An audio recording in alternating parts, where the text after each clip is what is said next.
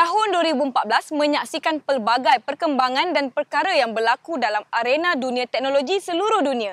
Kami di Amans membawakan antara rangkuman perkara-perkara menarik dalam dunia teknologi sepanjang tahun 2014 ini.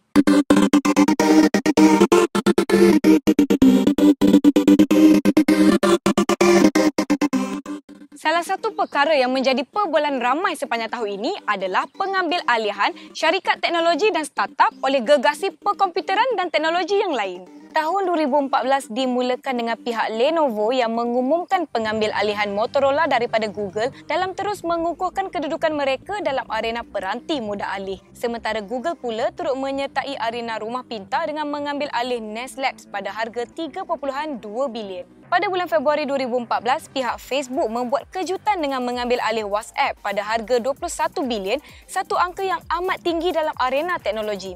Facebook tidak berhenti setakat itu sahaja di mana mereka turut mengambil alih syarikat di sebalik peranti realiti maya Oculus pada harga 2 bilion. Sony pada tahun ini turut melakukan beberapa perubahan pada strategi syarikat di mana mereka telah menjual bahagian perkomputeran Vaio dan Vaio beroperasi sebagai sebuah syarikat baru berasingan dengan kerjasama salah satu gergasi di Jepun. Beberapa pengambil alihan lain yang turut mendapat perhatian dalam tahun ini adalah termasuk pengambil alihan Viber oleh Rakuten, Twitch oleh Amazon, Minecraft oleh Microsoft dan Samsung mengambil alih SmartThings. Pelbagai pengambil alihan ini juga turut memberi kesan kepada perkhidmatan sedia ada yang lain di mana seperti kebiasaan beberapa perkhidmatan telah ditamatkan sokongannya. Salah satu yang popular diperkatakan pada tahun ini adalah berkaitan Windows XP yang telah ditamatkan sokongannya. Yahoo Malaysia juga turut menamatkan sejumlah laman berbentuk berita mereka di Malaysia selain perkhidmatan TweetPic turut ditamatkan. Apple turut menamatkan pengeluaran iPod klasik pada tahun ini dan tidak lagi menjualnya melalui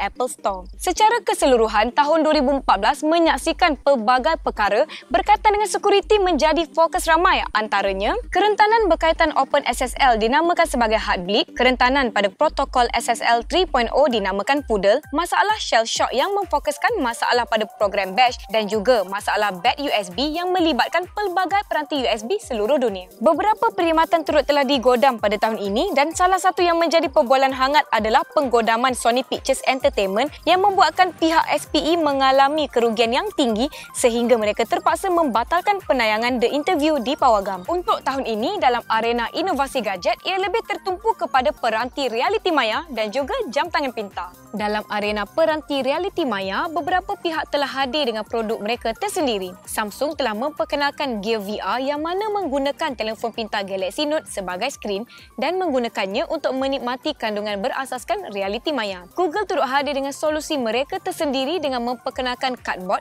yang mana membolehkan pengguna membangunkan peranti realiti maya mereka sendiri pada kos sekitar RM35 dan menggunakan skrin telefon untuk menggunakannya. Dalam arena jam tangan pintar pula, sejumlah jam tangan pintar telah diperkenalkan pengeluar peranti seluruh dunia pada tahun ini.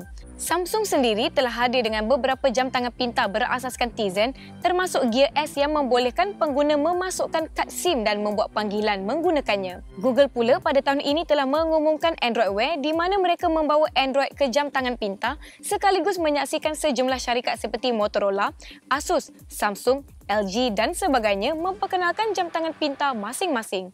Apple turut sama tidak ketinggalan dalam arena ini dan mengumumkan Apple Watch yang bakal dipasarkan bermula tahun hadapan sementara Microsoft pula hadir dengan gelang tangan pintar dinamakan Microsoft Band. Peranti boleh pakai turut mendapat perhatian ramai termasuk pihak Intel yang memperkenalkan Edison untuk memudahkan pembangunan peranti boleh pakai. Dunia sistem operasi juga agak meriah pada tahun ini apabila pihak Google memperkenalkan perubahan antara muka secara menyeluruh di Android melalui pengenalan Android 5.0 Lollipop. Di samping itu, Android juga dibawa ke pelbagai saiz skrin melalui pengenalan Android TV, Android Auto dan juga Android Wear.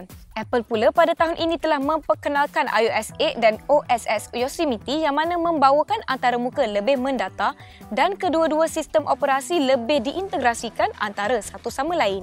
Microsoft pada tahun ini mengumumkan Windows 10 yang mana memfokuskan untuk menjadi satu sistem operasi untuk pelbagai saiz skrin iaitu daripada telefon hingga ke komputer riba dan televisyen. Windows 10 telah mula ditawarkan dalam versi ujian untuk pembangun dan ia dijangka akan dilancarkan secara rasmi pada tahun hadapan. Dunia gadget juga agak menarik pada tahun ini apabila syarikat pengeluar peranti daripada China mula memperluas penawaran kepada negara-negara global sekaligus memberikan tekanan kepada pengeluar peranti seluruh dunia. Sejumlah peranti menarik telah dilancarkan pada tahun ini di mana ia dimulakan dengan pihak HTC dengan HTC One M8 yang menggunakan badan berasaskan logam dan kekal dengan kamera berasaskan ultra pixel. HTC turut sama hadir dengan beberapa peranti lain pada tahun ini termasuk Butterfly 2 yang membawakan sokongan kalis air, HTC Desire Eye yang membawakan kamera hadapan dan belakang 13 megapiksel selain turut menyertai arena kamera aksi dengan memperkenalkan HTC Ray Camera. Samsung seperti biasa tidak ketinggalan di mana pada tahun ini mereka juga telah memperkenalkan Galaxy S5 dan juga Galaxy Note 4. Sejumlah jam tangan pintar turut diperkenalkan selain Gear VR dan juga penyertaan mereka ke arena audio premium premium melalui Samsung Level. Samsung turut mengubah cara reka bentuk peranti mereka dan sebuah peranti ujian telah dikeluarkan dinamakan Galaxy Alpha dan membawakan rekaan bingkai berasaskan logam dan agak selesa untuk dipegang pada tangan. Sony pada tahun ini telah memperkenalkan dua peranti utama iaitu Xperia Z2 dan juga Xperia Z3.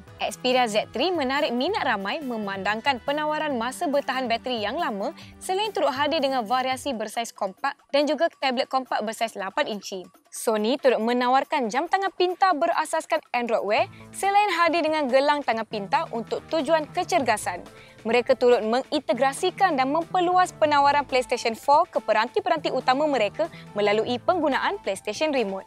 Apple pada tahun ini memperkenalkan iPhone 6 di mana ia membawakan perubahan saiz berbanding versi iPhone sebelum ini. 2014 turut menyaksikan pihak Apple mengikut trend pengeluar lain dengan hadir dengan sebuah phablet dinamakan iPhone 6 Plus. Di samping itu, pihak Apple turut hadir dengan iMac menggunakan skrin beresolusi 5K dalam memudahkan pereka bentuk dan pembangun hadir dengan penawaran resolusi tinggi. Microsoft pula dengan mengambil alih bahagian peranti Nokia, mereka telah hadir dengan sejumlah peranti Windows Phone. Mereka juga turut telah mula menggantikan jenama Nokia pada peranti kepada Microsoft selain turut bekerjasama dengan HTC untuk hadir dengan HTC One M8 versi Windows Phone. Microsoft turut memperkenalkan Surface Pro 3 pada tahun ini yang mana membawakan resolusi paparan lebih baik dan saiz skrin lebih besar. BlackBerry pada tahun ini hadir dengan beberapa peranti berasaskan BlackBerry 10 di mana salah satu yang menarik perhatian ramai adalah BlackBerry Passport yang membawakan saiz dan rekaan yang agak berbeza berbanding pelbagai pengeluar peranti lain di pasaran. BlackBerry juga turut mengumumkan kerjasama dengan Amazon dalam menawarkan Amazon App Store pada BlackBerry sekaligus memudahkan pengguna BlackBerry memasang aplikasi Android pada peranti mereka. Salah satu jenama popular yang hangat diperkatakan sepanjang tahun ini adalah Xiaomi. Xiaomi menggunakan model perniagaan yang agak unik di mana mereka menjual peranti terus kepada pelanggan melalui web sekaligus mengurangkan harga jualan dan membuat pengguna tertarik dengan penawaran mereka. Xiaomi telah hadir dengan Redmi Note 4G, Xiaomi Mi 4 dan juga Xiaomi Mi Band pada tahun ini selain penawaran beberapa peralatan rumah dan router. Beberapa jenama dari China yang turut menarik perhatian ramai adalah termasuk Huawei yang turut hadir dengan jenama berasingan Honor dan turut memperkenalkan sejumlah peranti menarik pada tahun ini termasuk Ascend P7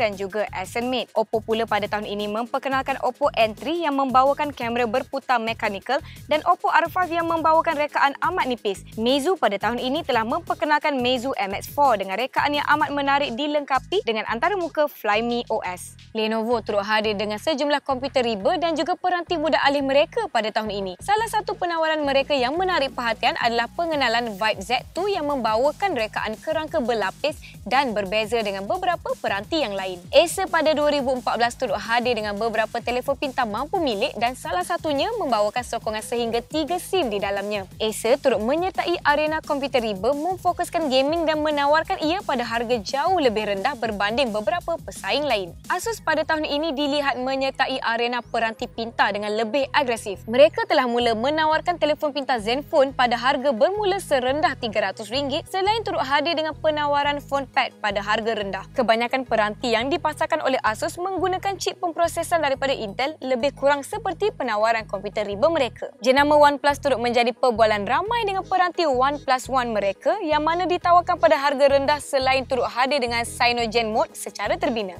Selain daripada dunia gadget, video beresolusi 4K mula menjadi perbualan ramai. Perkara ini juga dilengkapi dengan beberapa peranti baru yang hadir dengan sokongan rakaman 4K selain lebih ramai yang mula memuat naik kandungan berasaskan 4K ke laman seperti YouTube. Arena penstriman muzik juga terus meriah pada tahun ini di mana kebanyakan penyedia termasuk Spotify telah mula menawarkan perkhidmatan mereka secara percuma kepada ramai pengguna tetapi hadir dengan beberapa penawaran tambahan melalui langganan berbayar. YouTube turut memperkenalkan penawaran langganan mereka tersendiri tetapi ia hanya terhad kepada pengguna di Amerika Syarikat sahaja buat masa ini. Salah satu perkara menarik dalam arena teknologi tahun 2014 ini adalah penggunaan drone. Pelbagai drone mula dipasarkan kepada pengguna pada harga mampu milik dan tidak kurang juga syarikat-syarikat gergasi seperti Facebook, Google dan Amazon yang membuat pelaburan padanya. Salah satu sebabnya adalah pelbagai syarikat gergasi ini ingin menawarkan sokongan akses internet ke kawasan pedalaman dan negara-negara membangun pada kos yang rendah. Google sendiri mempunyai projek mereka dinamakan Projek Loon yang telah mula diuji di beberapa kawasan. Dunia e-dagang turut mendapat perhatian ramai dan antara perkara yang menjadi perbualan ramai adalah apabila Alibaba menyenaraikan syarikat mereka untuk IPO dan menjadi salah satu syarikat yang berharga dalam arena teknologi. Dan akhir sekali arena teknologi menyaksikan persaingan sengit dalam dunia permesejan menyaksikan syarikat-syarikat permesejan seperti Line, WeChat, Viber bersaing dengan penawaran perkhidmatan mereka selain pada masa yang sama mula mengintegrasikan sokongan e-dagang terus pada aplikasi permesejan. Perkara ini dilihat memudahkan dan membuatkan lebih ramai membeli menggunakannya. Microsoft juga tidak ketinggalan dengan perkhidmatan Skype mereka di mana mereka telah memperlihatkan sokongan terjemahan pada masa nyata pada Skype membolehkan dua pengguna dengan bahasa perbualan berbeza berbual dengan lebih mudah. Sekian rangkuman ringkas daripada kami di Amans mengenai perkembangan dunia teknologi seluruh dunia sepanjang 2014. Terima kasih di atas sokongan anda membaca laman web Amans dan menonton video-video kami. Saya Nisa, Yosh!